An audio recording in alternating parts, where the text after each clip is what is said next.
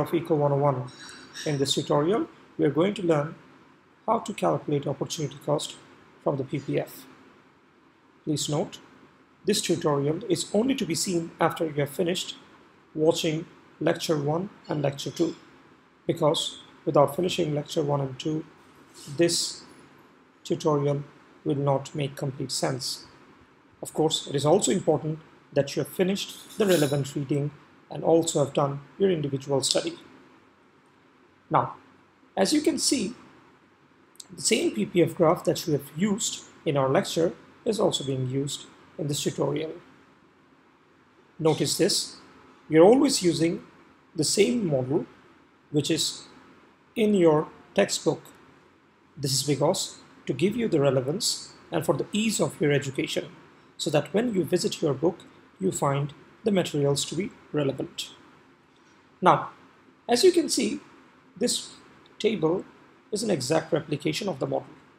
Here, the points A, B, C, D, E, F is now in numerical terms represented in the table. Since we have the numbers in the numerical term, we shall now be able to calculate the opportunity cost. While we will be learning to calculate the opportunity cost, we will also try to prove the point that opportunity cost increases as we move along the PPF curve.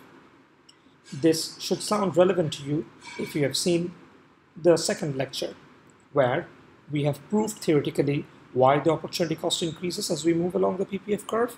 And this time we're going to see this mathematically and try to prove it why opportunity cost increases as we move along the PPF curve. So let's begin. As you can see, the formula of opportunity cost is given here for you, which is a quite simple formula. Simply, it is dividing the change in decrease of product A by the change in increase of product B.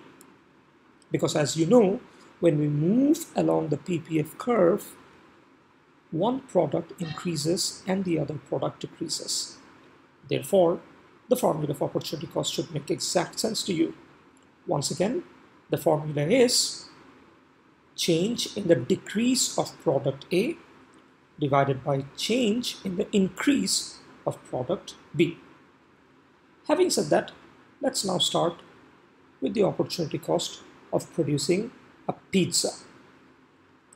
So obviously, we have learned from our lectures so far that the opportunity cost of producing something is the next best alternative foregone. In this case, if we are producing more pizza, then we are going to definitely forego or sacrifice more CDs. As a result, we now need to show this mathematically. So let's begin. Provided we have the formula, we're just going to plug in the numbers and see what are the results. So on the numerator, we have change in decrease of product A. In this case, if we are making more pizza, what is decreasing? CDs. Wonderful. And if we are producing pizza, then what is increasing? Obviously, pizza. So product A in this case is CD, product B in this case is pizza. Now, the formula should go something like this. If we move along from point A to point B, we are going to produce from 0 to 1 pizza. Similarly, when we are moving from point A to point B, we are going to produce less CD, that is, from 15 CDs to 14 CDs. Obviously, you can also see this in the graph.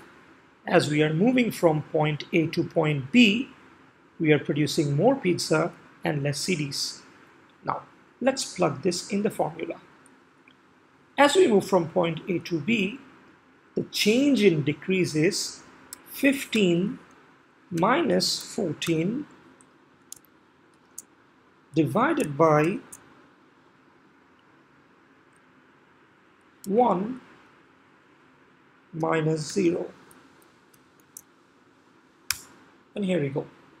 We have the first opportunity cost of producing a pizza from going from point A to point B. Next, when we move from point B to C, let's see what happens. The same application holds. Once again, when we are moving from point B to point C, as you can see in the graph as well, we are producing more pizza and less and less CDs. So let's see how this works. This time, the numbers will be 14 minus 12 by 2,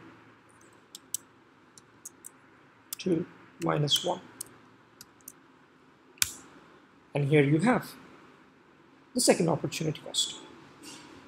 Similarly, I will also do the third one for you, where you should have 12 minus 9 by 3 minus 2. And so on. The rest of them should be 4 and the rest will be 5. I'm sure I've done the first three for you. You will be able to do the next two. That isn't much of a big problem. Now, what can you see here? you have successfully found the opportunity cost of producing a pizza. As you can see, the opportunity cost of producing the very first pizza is 1 CD. The opportunity cost of producing the second pizza, that is one more additional pizza, is 2 CDs. Once again, the opportunity cost of producing the third pizza, that is just one more additional pizza, this time you are giving up three CDs and the opportunity cost of making one more additional pizza. This time, just for one more additional pizza, you are giving up four CDs. So therefore, this proves as we move along the PPF curve, the opportunity cost increases. And now this should make more sense to you as you also know the theoretical aspect behind it, which we have discussed in detail in lecture number two. So now that we have both the theoretical aspect in head as well as the mathematical aspect that we have seen right now in this tutorial, I hope the calculation of opportunity cost for PPF is clear to you. Having said that, you should also be able to calculate the opportunity cost of producing CDs. You should be able to do this by yourself. I would recommend give it a shot and see how it goes. With this, I end this tutorial. Thank you.